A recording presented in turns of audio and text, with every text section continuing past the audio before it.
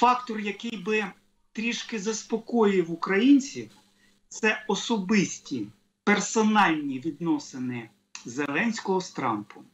Оце той момент, який здатний скоригувати будь-які неприємні сюрпризи для України.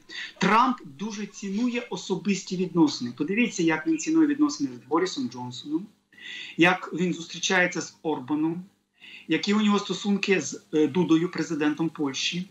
Е, Ну, він бізнесмен, а в бізнесі все життя, от оці особисті зв'язки, вони грають провідну роль. Він це переносить на президентську роботу.